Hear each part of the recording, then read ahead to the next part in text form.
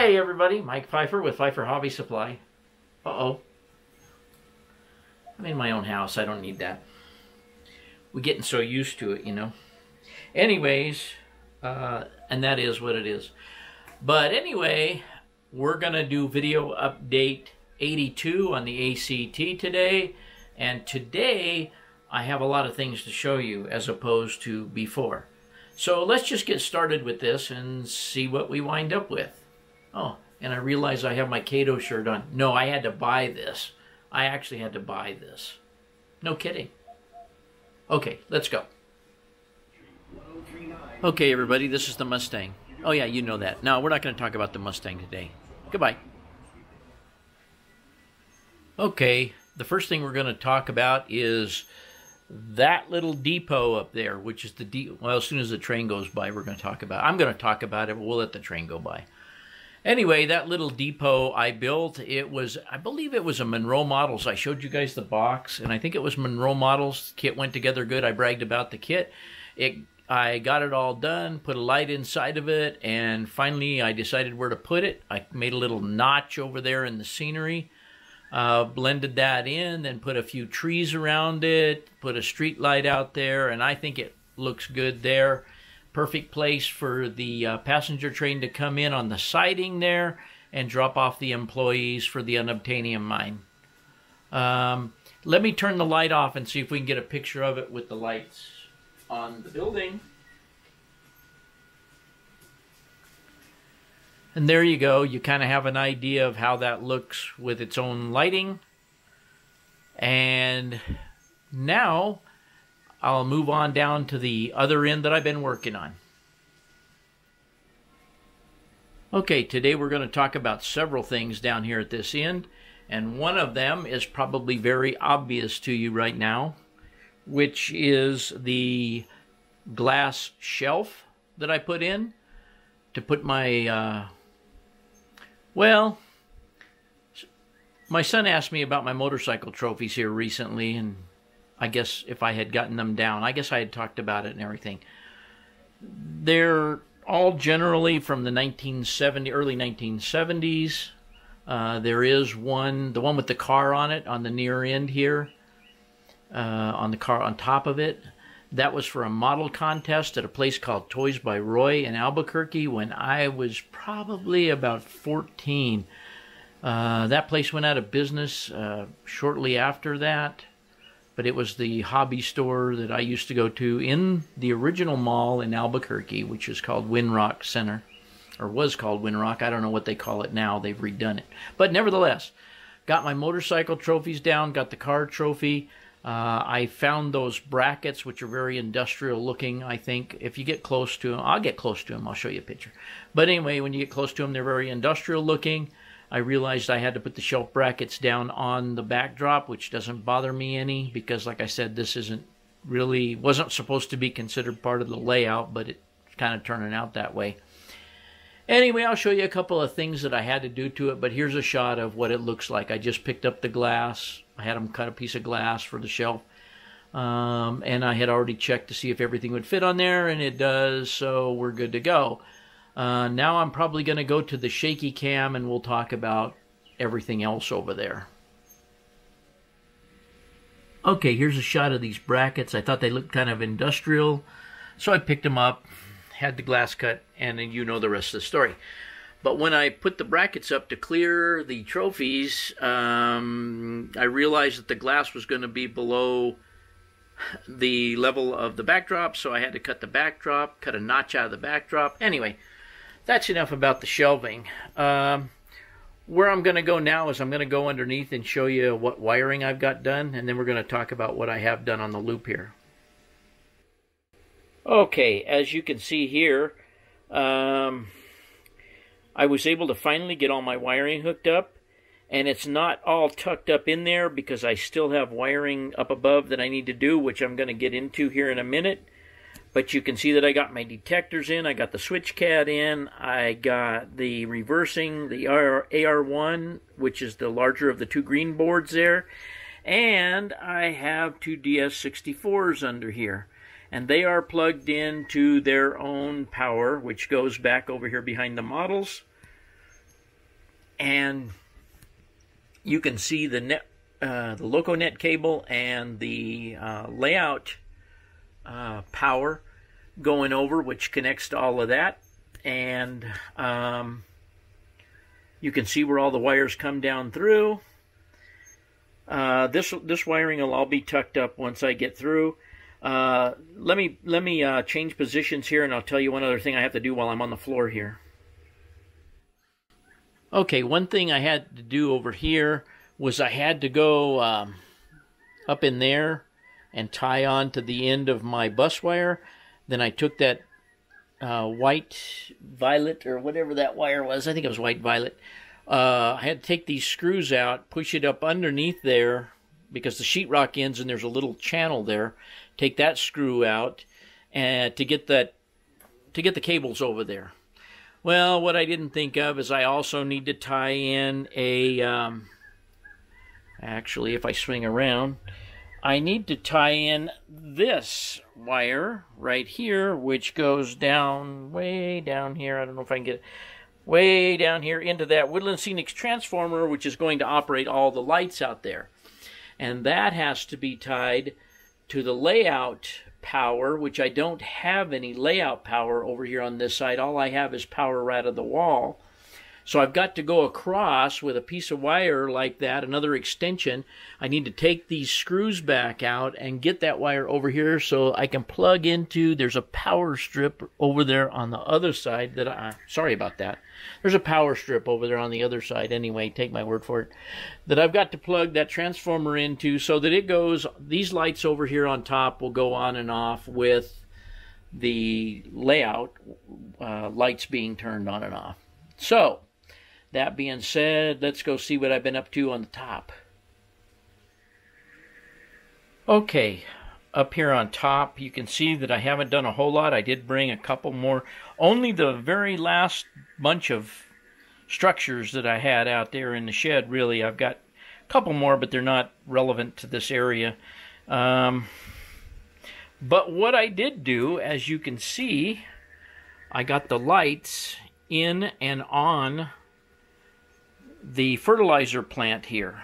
And I know you can't see very well, but I did put a, a light sequencer on some of these lights. Therefore, the light, you can see that light over that uh, rolling garage door. Uh, a light comes on inside there, and then you can see the adjoining office. A light comes on and off in there. I don't know if we'll be lucky enough to see that right now.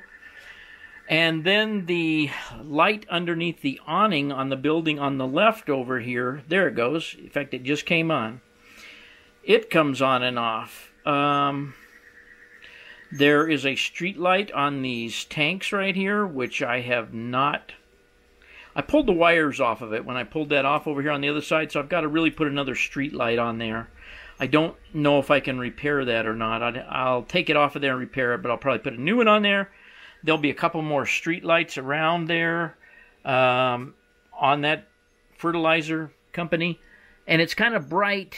Uh, you can't really see. There's a. Let me move this building over there. But uh, anyway, there is a light underneath the awning on the big tall green building over there. You can you can see. Um, I haven't seen any other lights cycle on and off yet, but take my word for it, they do. Okay, there is a light inside of this building here. I have not tied it in, or did I tie it in? I did tie it in. There is a light on inside of it. Uh, there will be, like I say, a couple of street lights out here. This building is just sitting here in the way for right now. And I have not done anything. I still haven't made up my mind about the back back there. In fact, I'm seriously thinking about building some more building flats and putting them back there and making them fit that area. I don't have anything that really fits the area very well. I was thinking about moving this building up here, weathering it up a little bit. I never have liked the sheen on this building. Weathering it up a little bit, maybe putting it over here and servicing it with the road that's going to come across here somewhere and go into the fertilizer plant. I also have the nursery buildings, and I thought maybe the nursery buildings would be good over here. What better to have over here than a nursery um, since you're right next to the fertilizer company, right? Uh, there's another piece to it somewhere. And there's an office building here somewhere. But anyway, but that might be kind of a nice deal. Uh, they could test their fertilizer there and all that stuff. I thought that might be kind of cool, actually. And that kind of that's the first time I've actually set it there, and I'm kind of liking it. I like the pencil there too. I'm thinking about leaving the pencil there. No, I'm not. I'm not leaving the pencil. But anyway, um, that's the lighting that's going on. I'll I'll shut the lights off so you can see what's going on here. But for right now, I'm gonna get on the stool and talk to you about what I got going on track-wise here. Okay, I'm not very good at holding the camera steady and pointing out things, but um, as you can see, I got lights here. And as some of you may know, this is this is uh, plywood underneath here, and that's on the out. There's no access under here. Is what I'm trying to say. That's underneath on the outside. That is my table saw and all that stuff. So there was no access. So what I did, and I'm going to lift this up real quick. I put all the boxes in there, and all the wiring goes underneath this building right here. And there's plenty of void in the foam down there to be able to put more wiring and so forth down there. Then what I did is I just took a knife, a sharp serrated knife, which I can't get this stupid thing to focus. I took a sharp serrated knife and I just made a cut across and then stuck the wire down in it that goes over to this building, if that makes sense. Uh, then I made a cut here that goes over to here. I had to cut out a piece of the plaster here so that I could take, hang on, my special tool, BRF32Q here. I could heat it up and I could run this underneath here, heat it up, and make a hole. Then if I move this, you can see that there is an adjoining hole on the other side, which I fed the wire through, made another cut, fed the wire over here, made another hole, and then over here, I had to do some seri serious uh, taking out of material. Um, I wouldn't have had to take out this much material, but honestly, what happened was this this plug that you see right here was the turnout. Um, where am I at here? Way over there. The turnout that is now 25, that goes into where the stockyard will be. For some reason, I screwed up and left it uh, dead-ended over here, so I had to attach an extension onto it to get it down where I needed to get it onto the uh, DS64s. So the plan here, though, worked out well, and I only have little tiny places that I can cover with small pieces of plaster cloth.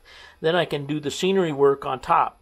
So once I get the, the uh, wiring done for the lighting and get as many lights out there as I want, um, I can pretty much start putting scenery material over it. Now, the way we'll go about this is we'll probably go from this hole on the back of, on this hole that's under this building I'll probably make another small hole here and another one here, just like we do in real life with a backhoe. I'll run my little special tool, special tool BRF32Q, uh, heat it up, run it underneath there. Then I will cut a notch to wherever these buildings wind up being because they're on a piece of styrene and I will I got to light these buildings by the way. They don't have any lights in them. So once I have that accomplished um, I will put another big hole underneath that building complex there to put another hub in because I have an expansion hub under this building and I will take a lead out, go across here and over to there and put another expansion hub over there to feed the buildings all on that side of the track over there. So, I should be able to with port sharing and everything else, I should be able to accomplish some pretty decent lighting over there. Uh, of course, when the stockyard goes in here, there will be probably street lights around the stockyard, probably not much lighting in the structures themselves, just around the stockyard. Uh, that's easy, they all go into one plug. Anyway, that's enough of that. But these buildings, I don't know how they're going to go, if they're going to go. The, the uh, bus depot seems to be a real problem here. Um, it's just too wide, too thick, too long. Um, but I don't know. My hobby shop, as you saw. This is Fifer, Fifer Hobby Supply. Um, I don't know where it'll go, if it'll go. If I have a place for it, I'll put it there. Um, anyway, enough of the lighting and so forth, enough of what I had to tear up. Now let's talk about the track. Okay, I guess from the wiring that I showed you down below, you've probably already guessed. I got all this track working, got all the turnouts working. I decided since I have like 14 turnouts or so that are controlled by the DCC on the other on the uh, other side of the branch line, uh, with the buttons and so forth, and all the ones out on the main line, that uh, I would start numbering these at 21. So I have 21 through 25, I think. So as you can see to the DS64 in the tunnel right there, I have 21 is the one in the tunnel. Uh, 23 flips both the sidings over here. 24 is going into the fertilizer plant and so on and so forth. Um, 22 comes down into the staging area, which is this is a total disaster. I hate to show you guys this. I got cars laying on their side. I got junk laying all over that I haven't cleaned up yet. Uh, in fact, that seems to be my my mo. But nevertheless, um, the track in here is all working. I have proven that the switch throws when the train comes around the loop. It detects and throws the switch, um, so it can be fully automated if need be. Um, and all the switches out here work, and I can push trains in and out. I've done all of that. So basically, what I'm telling you is I have all this working out here. So, that being said, I've rambled on probably long enough. I don't know what else I can tell you here. You know how I am. I'll probably think of something. But I think we'll just take one or so shots of the train running around.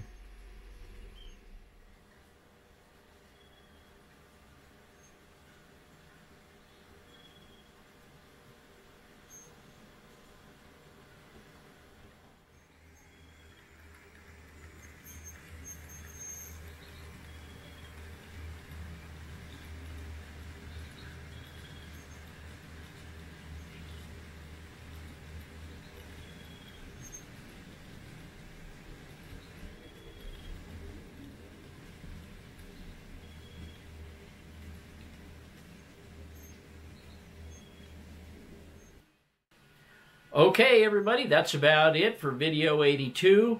I, uh, as you can see, I've been out here trying to get lighting and wiring stuff done before I can move on with scenery stuff and really figuring out too much what I'm going to do as far as buildings over there. But I am pretty convinced that I am going to make flats to fit in over there that are more industrial looking or not industrial, but city looking possibly. I don't know if I want any more industry, industry, industry over there. Uh, but I do want something to blend into the backdrop that's there. So I will work on that and we'll try and come up with something that makes sense over there. Um, like I say, unfortunately, the McDonald's, the Greyhound bus probably won't work. Um, but anyway, it is what it is, and I've bored you guys to death enough today, I'm sure. I always say that, but I know you guys think it's not boring. I think it's boring because I get tired of talking about it, especially after I've thought about it and thought about it and thought about it until I get to the point of doing it. But uh, anyway, there you have it. There's 82. I hope you enjoyed it, and thanks for watching.